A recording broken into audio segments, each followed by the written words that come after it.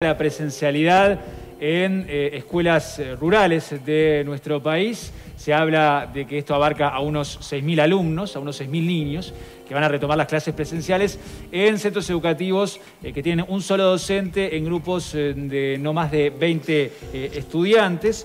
y este es el primer paso, como les hemos informado, de un calendario fijado por el gobierno para que los estudiantes regresen a las aulas tras, bueno, un mes, poco más de un mes de clases virtuales eh, por la, pandemia, por la crisis sanitaria. Eh, aún resta conocer los detalles sobre eh, cómo se va a instrumentar el protocolo y cuándo van a volver los estudiantes todos eh, que se va a hacer esto de manera progresiva, como lo ha anunciado el gobierno, se va a ir estudiando paso a paso la, situación eh, sanitaria. Eh, ¿Cómo comienza hoy la educación presencial en las escuelas rurales y cuáles son los siguientes pasos que se va a dar por parte de las autoridades educativas? Vamos a conversar en los próximos minutos con el consejero del CODICEN, Juan Gavito, que nos acompaña esta mañana. Bienvenido, Gavito, una vez más. Gracias por acompañarnos. Buen día. Buen día. Día, gracias, con mucho gusto. Un placer. Bueno, eh, ¿cómo, ¿cómo, están para hoy? Eh, ¿Cuál es la expectativa? Eh, ¿Cómo se han venido preparando para este reinicio que, por cierto, fue anunciado hace poquitos días atrás, ¿no? Este, por parte del gobierno la semana pasada. No quedó como un margen muy amplio para preparar, pero me imagino que era algo que venían hablando desde hace un tiempo. ¿Cuál es la expectativa? Se habla de que son entre 730, 750 escuelas rurales en todo el país y cerca de 6.000 alumnos para esta vuelta de la presencialidad, Gabito. Sí, cómo no, con mucha ilusión, con mucho compromiso. Este, es una tarea que los, todos los docentes, estoy seguro que la mayoría de los padres y los niños estaban esperando. En este caso se reedita la experiencia del año pasado, porque el año pasado también se comenzó con las escuelas rurales. Y esto es en base a dos, al cruzamiento, digamos, de dos criterios. Menor riesgo, porque son comunidades más pequeñas, eh, menor riesgo de contagio, quiero decir, y por otro lado, mayor necesidad de volver a socializar y volver a aprender en contacto con otros niños. En general, como tú lo decías en la introducción, son escuelas de muy bajo alumnado. Esos 6.000 en potencia podrían volver hoy, divididos las 700 escuelas, da menos de 10 niños por escuela. Alguna podrá tener un poco más, pero hay muchas de eh, uno, dos y hasta tres niños. Es más, hay dos escuelas que abren, pero tenemos dudas acerca de si tendrán alumnos, porque ya en marzo, cuando empezó antes, este, no, los tenían, porque los papás se mudan, porque hay diferentes circunstancias de la ruralidad que lamentablemente eh, tiende a, despoblarse, pero el sistema educativo público mantiene abiertos los, centros. Bien, ¿cuáles son los, los protocolos que se van a seguir? Se ha hablado por parte de eh, el presidente del Codicen, Robert Silva, que se van a mantener los protocolos, eh, haciendo una exhortación también a, los padres a que, a que, extremen los cuidados, sobre todo a la hora de, llevar a los hijos a, clases. Esto eh, uno lo ve como muy difícil que pase en las escuelas rurales, por lo que usted decía, ¿no? por, por la, baja cantidad de, alumnos, que haya aglomeraciones de padres en, en las puertas de los centros educativos, es más bien una exhortación para los centros urbanos. Pero, pero ¿cuáles son los protocolos que, se van a seguir? ¿Se, modifica algo de lo que se venía haciendo antes? Sobre todo con respecto al uso del tapabocas, también Robert Silva hizo, hizo referencia a esto. Exactamente. Diría que esto último es lo, lo, único que cambia para las rurales, porque el protocolo es el mismo, máximo cuidado sanitario, limpieza, desinfección. Hay un detalle no menor y es que muchos docentes y algunos niños también, bastantes niños también, se desplazan en transporte público, se toman el ómnibus para llegar hasta la escuela y ahí hay contacto con otras personas. Por lo tanto, la desinfección a la llegada al centro docente es fundamental. Y lo otro es que ya se había cambiado en, marzo de este año, es la, reducción de la distancia entre bancos, que antes era de metro y medio, ahora de un metro solo, pero que en el caso de las escuelas rurales prácticamente no, no tenía incidencia porque lamentablemente, como dije antes, hay pocos niños y mucho espacio, entonces eso se, puede, se pueden distanciar sus puestos de trabajo. Lo que sí cambia es la obligación de utilizar mascarilla o tapabocas, que hasta los 8 años no es preceptivo, es decir, no es obligatorio, pero todo aquel papá que considere que es mejor que su niño o niña esté con el tapabocas durante la escuela puede hacerlo y así se hará. ese, no es un criterio, como, como, complejo porque puede generarse cierta hasta discriminación o diferenciación de un niño del resto. Si, si los papás prefieren que usen que use mascarilla a su hijo y el resto ninguno tiene, eh, hasta el propio niño se puede sentir diferente, ¿no? Claro, pero en este caso, digamos, no, es una cosa eh, fundamental como para establecer diferencias. No se puede obligar, así como no hemos podido obligar a nadie a vacunarse de la población en general y no nadie habla de discriminación entre un este, ciudadano y otro, tampoco en relación a, los funcionarios, ¿verdad? Y particularmente los docentes, hay quien se vacunó y quien no. Nosotros tenemos que respetar la decisión de los padres. Lo único que decimos es que no es obligatorio. Y de hecho ya estaba pasando, porque en educación especial, con niños con capacidades diferentes, y en educación inicial, los primeros grados de primaria, es la gestualidad, este, la transmisión a través de cómo eh, la cara incide más que la verbalización, es fundamental. Entonces, eso lo va a manejar en cada comunidad educativa el docente a cargo, ¿verdad? Gabito, eh, hoy vuelven las clases de esta manera como lo estábamos diciendo, en educación rural, hay algunas fechas eh, que vienen para adelante, pero la, cantidad de niños de las escuelas de Montevideo Canelones, del área metropolitana, eh, todavía no tienen una fecha de regreso a clases, tampoco lo tienen los liceales. Em, si la situación se mantiene por un par de semanas más, por ejemplo, como la actual, ¿no? en, la, que la cantidad de casos de contagio de coronavirus no viene bajando o viene bajando muy poquito y la cantidad de fallecidos por día también se está manteniendo, eh, ¿en qué momento es que se va a evaluar o cuál es el número o los números con los que podríamos tener una certeza mayor de cuándo los niños podrán volver a la escuela? Bueno, acá no hay más remedio que volver al, inicio o al momento cero de la toma de decisión. Es obvio, todos lo sabemos, que estamos en una fase muy crítica, digamos, de la, de la pandemia, pero también eh, los informes científicos y lo que ya se maneja en el ámbito educativo indicaban que no es el, el, el COVID el único riesgo para la minoridad y en particular para la primera infancia y los primeros grados escolares. Es decir, que eh, conjugando esos dos factores es que se estableció esta vuelta escalonada, donde después de estas escuelas rurales vendrán otras rurales, vendrán todos los preescolares, genéricamente hablando, o sea, ahí incluimos educación inicial del concepto de, educación primaria, propiamente dicho, los centros CAIF, las guarderías, las, las, que son supervisadas por el INAU y alguna por el MEC todavía.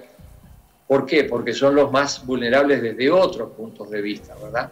y luego vendrán los primeros grados, los grados más bajos de primaria, excepto en este caso Montevideo y Canelones, o área metropolitana, mejor dicho, porque ahí es donde hay una mayor incidencia de la circulación viral. Pero a su vez, dentro del área metropolitana sí empiezan las escuelas de tiempo completo y las escuelas aprender, es decir, de atención prioritaria en entornos con dificultades estructurales relativas, esa es la sigla, aprender entonces este, hay una conjunción o, un, cruce permanente del criterio restrictivo sanitario y el criterio habilitante pedagógico. Y eso se va a ir tomando a medida que evolucione la situación. Pero es de esperar que, por ejemplo, eh, la semana siguiente a la vuelta de, las escuelas, excepto el área metropolitana, ya puedan volver los niños, el resto de los niños a la escuela o no? ¿O es algo que se maneja como para más adelante? Nosotros, eh, si lo juzgáramos exclusivamente desde el punto de vista educativo, pedagógico, quisiéramos que sí. Y eh, creemos que si están dadas las condiciones, sí. Lo que pasa es que acá son decisiones que se toman por andariveles, que se van comunicando, pero que son diferentes. Quien dice si están dadas las condiciones desde el punto de vista sanitario es el Poder Ejecutivo. Quien dice cuándo, cómo en qué etapas, con quiénes, somos nosotros la Administración Nacional de Educación Pública. Si esa luz verde se, se enciende, por quien corresponda, nosotros estaremos en condiciones de empezar. Gabito, el presidente había dicho en un momento que no querían retomar la presencialidad eh, de manera apresurada para evitar eh, tener que dar marcha atrás de vuelta y generarles esa irregularidad, incertidumbre a los niños, a, a las familias y demás. ¿Le preocupa que algo así pueda pasar, eh, considerando que la situación sanitaria sigue siendo muy compleja, pese a que se está iniciando de manera escalonada y gradual? Es una posibilidad que no se puede descartar, ¿no? Sí, por supuesto. Acá yo quiero hacer una distinción. Sí. Una cosa sería una vuelta a la suspensión total al cierre total. Eso sería muy, muy triste y muy, muy poco este, deseable. No lo podemos descartar, pero creemos que todo indica que eso no va a ocurrir. Lo que sí va a ocurrir es que en casos puntuales pueden producirse contagios que lleven al aislamiento o cuarentena de determinado grupo, de determinado docente, hasta de determinado centro docente. Pero esas excepciones malas no deberían llevarnos a generalizar y decir que en todos los demás lugares donde están funcionando bien las cosas deberíamos cerrar. Entonces, estas decisiones se van tomando, eh, como dije recién, en contacto o en coordinación con la autoridad sanitaria. Y es muy bueno tener en cuenta que esto no es solo a nivel nacional, sino a nivel local. Es decir, la autoridad de ANEP, en este caso, Inspección Departamental de Primaria, con la Autoridad de Salud Pública, es decir, la Dirección de Salud Departamental y los ECOED, caso a caso irán diciendo dónde están las condiciones dadas para que se tenga que dar un paso atrás. Pero en principio queremos que eso no ocurra.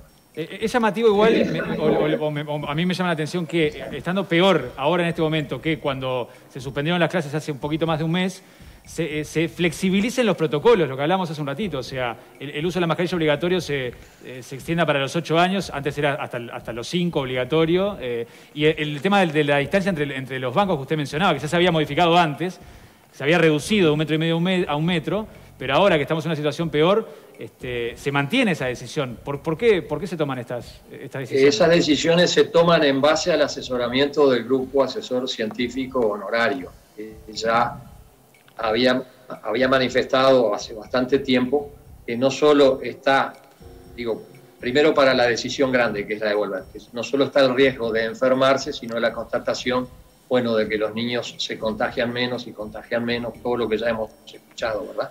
Pero sobre todo que hay otros riesgos que tienen que ver con el desarrollo cognitivo y socioafectivo de los, de los niños. Es, si falta eso, es un riesgo en esta etapa de desarrollo casi tan importante como haberse pescado el COVID. Eso está totalmente claro y, es así, estamos de acuerdo, pero el tema es volver, pero con, mayores protocolos, a eso me refiero, no no volver, volver pero con mayores protocolos, no con menos que antes. Bien, quiero agregar también que el informe del CIPIAP sobre el aumento de casos de violencia, ¿verdad? Fue importante. No, no todas las familias ni todos los hogares tienen la situación de de seguridad que nosotros imaginamos si no van a la escuela. Creemos que están mucho mejor. Yendo a tu pregunta específica, también se dice que lo que ha ocurrido es que muchas veces directamente es imposible, como decía antes, pensemos en niños con capacidades diferentes o escolares, que estén con la mascarilla puesta cuando directamente es, es muy difícil hasta por un tema de autocontrol del educando. Pero aparte, para ese vínculo que tiene que haber entre el docente y el niño, este, es fundamental la gestualidad, la afectividad, el remarcar, digamos, determinadas pronunciaciones o, gestos de, de, aprobación o reprobación. Eso es fundamental. Si no, estaría renga, entre comillas, la parte de educación. Y en cuanto a la distancia entre bancos, por eso mismo que habíamos dicho antes, en el sentido de que habían determinado los científicos que no era eh, necesario ese metro y medio. Y de esa forma teníamos la posibilidad de tener más niños todos juntos todo el horario. Gabito, ¿están trabajando para de alguna manera paliar este, eh, lo que significa el, el no haber tenido clases este, presenciales durante todo este tiempo. En, las escuelas rurales terminan ahora, pero las otras van a seguir, e incluso las del área metropolitana no se sabe cuándo se va a retomar. Eso va a hacer que de alguna manera tengan algún programa o algún este, tipo de medida para que cuando la situación en el Uruguay vuelva a ser normal, se, se, haga algo para menguar este, estos efectos. Bueno, muy bien, muy oportuna la pregunta porque el hecho de que ahora estemos focalizados sobre la vuelta a la presencialidad no tiene que hacernos olvidar que desde el año pasado se está trabajando en educación a distancia, o sea, desde la virtualidad y no solo desde la virtualidad, sino por otras vías. Es decir, que todo el año pasado se trabajó sin presencialidad, o mejor dicho, se trabajó además de la presencialidad desde las redes, por decir algo así, eh, y este año también. Se trabajó durante todo el verano, se trabajó al inicio de este año, incluso eh, terminando, por así decir, los programas o los contenidos programáticos del año pasado. Y ahora mismo se está trabajando. Hay distintas este, situaciones, hay docentes que le han agarrado más la mano al sistema, otros que no. Hay niños que le han agarrado más la mano, otros que no. Estamos empujando en ese sentido y además esto tiene que ser una herramienta, o sea, el aprendizaje asistido por medios informáticos, ¿verdad? Eh, no solo alternativa a la presencialidad, sino conjunta, debe potenciar las dos, las, dos formas. O sea que no es que nos quedamos con si la escuela está abierta o está cerrada para ir, sino que la escuela está siempre abierta para transmitir conocimientos este, aún a distancia sin la presencia de los niños. ¿Y cómo se trabaja con esos docentes, con esos docentes que dice que no le agarraron del todo la mano, siendo que ahora es un tema tan, tan importante? Bueno, para eso tenemos a su vez un cuerpo profesional de carrera que es toda la pirámide jerárquica técnica que va desde la inspección técnica hasta la inspección de zona. Estamos hablando de 250 inspectores que son los orientadores, los supervisores, hay cursos de capacitación, hay personal de apoyo, ¿verdad? Tanto en primaria como secundaria como UTU, personas que tienen, o profesionales que tienen específicamente la tarea de asistir desde el punto de vista técnico. Yo no los voy a abrumar con siglas como POITE, por ejemplo, que es una figura conocida en secundaria, o coordinadores o asistentes en informática. O sea, el sistema tiene la fortaleza como para apuntalar a todos aquellos que lo necesitan. Gabito, ¿han podido medir, en este mes eh, la cantidad de, vinculación de los niños, en especial de primaria, con la escuela? Eh, si se han podido todos vincular con el centro educativo, si todos han tenido la atención que necesitaban. Le pregunto porque el año pasado se dio una desvinculación bastante fuerte en los primeros meses de la pandemia y bueno, para saber si se está controlando que todos los chiquilines puedan acceder a, la educación, ¿no? En realidad esa medición se, va haciendo permanentemente porque hay un, sistema informático en primaria que lo hace y porque aparte lo hace una entidad externa a nosotros, que es el Plan Ceibal, que es la, digamos, la plataforma o el proveedor de las plataformas fundamentales. Ahí yo quiero hacer una salvedad. Se llegó a hablar el año pasado de un 5% de no vinculación, pero era no vinculación a través de las plataformas de Ceibal, lo cual no quiere decir que no hubiese otras formas supletorias de llegar a esas familias y a esos niños, desde el teléfono hasta ir a su casa a buscarlo. En ese sentido, quiero recordar que también el sistema tiene figuras que específicamente tienen ese cometido. Caso típico, el programa de maestros comunitarios, que no son los que están al frente de una clase y de un salón, sino que están para cultivar ese vínculo y apuntalar al docente de clase en el seguimiento con esos estudiantes. O sea que está, en teoría al menos, todo previsto para que eso funcione.